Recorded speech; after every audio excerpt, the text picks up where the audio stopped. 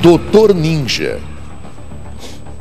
O cabra faz uma dentro do tribunal do júri. Que- Veja isso aí, João Gimenez. Disse que nunca viu. Quer ver? Põe no ar. Vamos lá. É inocente. Se fosse um crime, meu sócio não soubesse, ele ia ter que ser punido também. Vem cá. eu Vem. João. Olha aqui. tribunal do júri. Aí, João?